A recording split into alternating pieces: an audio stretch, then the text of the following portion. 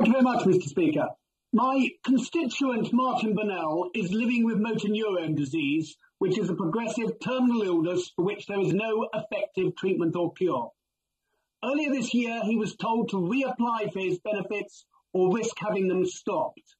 Will my right honourable friend commit to removing the burdensome and unacceptable requirement under the special rules that people with a terminal illness have to reapply for their benefits after three years? Thank you, Mr Speaker. As part of the Green Paper, we will be going further than the SRTI evaluation to look at the principles of extending the severe health condition criteria to remove unnecessary assessments and reviews. Emma Hardy.